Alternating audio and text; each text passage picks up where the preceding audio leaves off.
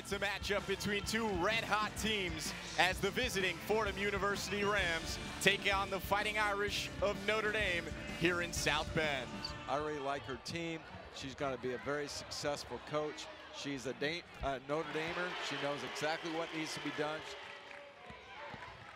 Mabrey, little hesitation, and one. Wow.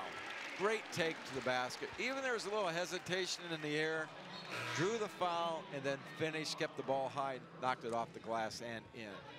To go now, Mabrey ahead for Westbeld, down low for Citron. And the Irish lead grows to five. Wow. Miles, the freshman, all the way to the rack.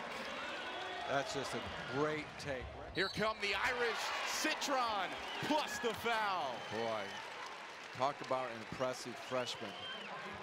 Great pass. Found Prohaska on the baseline, who fed Westbeld, who gets it to go, and one. That, with that offhand, she almost clears out people, that's what the Fordham bench is complaining about. Taken away by Miles. Miles all the way to the hoop, dish to Peoples for two. Citron ahead for Prohaska oh. for the easy two. What a pass from the freshman. Just a great Tom Brady would have been really proud of that pass. Read the defense, threw over the top of the defensive back for a touchdown right there. Great pass. Citron open for three oh. and buries it. My goodness. What a great look.